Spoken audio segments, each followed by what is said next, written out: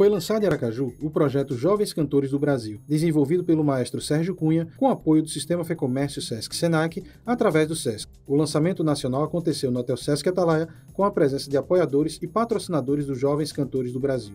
O projeto, que atenderá crianças e adolescentes de 9 a 16 anos, alunos de escolas públicas e particulares, com o objetivo de estimular a cultura erudita e motivar crianças e adolescentes a descobrirem o seu talento para o canto. De acordo com o idealizador do projeto, serão selecionadas 40 vozes entre os inscritos.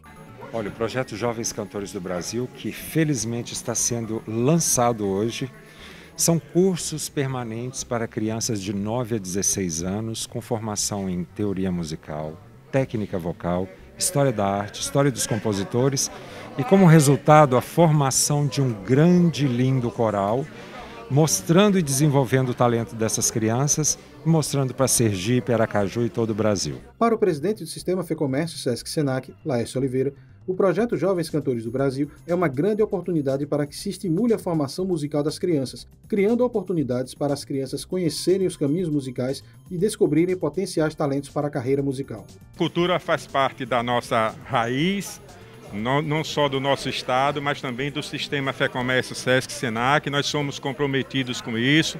Quando surgiu a ideia da gente participar desse projeto Jovens Cantores do Brasil, a gente abraçou a causa de imediato. Estamos emprestando toda a estrutura que nós temos aqui, porque é um projeto que alcança as crianças, independente de condição social, que busca principalmente uma precaução em termos de saúde, a saúde da voz, que é um dado importantíssimo para aqueles que usam a voz como instrumento de, de trabalho.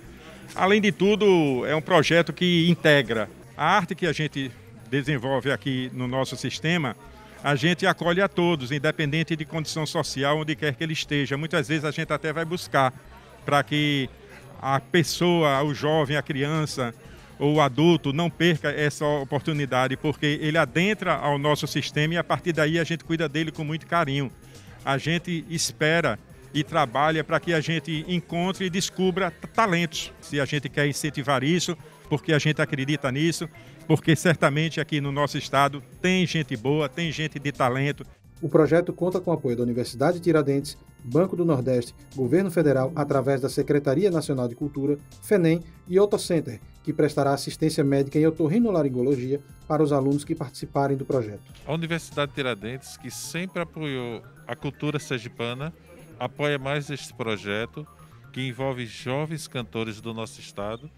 É um apoio via Lei de Incentivo à Cultura que nós estamos fazendo e vamos apoiar também, inclusive, no processo seletivo, quando o protocolo estadual autorizar, os alunos estarão lá no nosso Innovation Center participando é, do, de uma parte do processo seletivo. E é um projeto que vai valorizar muito os cantores mirins, os cantores jovens do Brasil, que serão acompanhados por uma equipe de fonoaudiologia, coordenada pela doutora Silvia Pinho, de canto, coordenado pelo maestro Sérgio Cunha, e terá o apoio aqui institucional né, na área de saúde, de laringologia e voz da clínica Otocenter. Então, todos os jovens selecionados para o projeto Jovens Cantores passarão por uma avaliação clínica de laringe e de voz e terão também o acompanhamento devido caso aconteça a necessidade de algum tipo de tratamento enquanto durar o projeto. fresca, que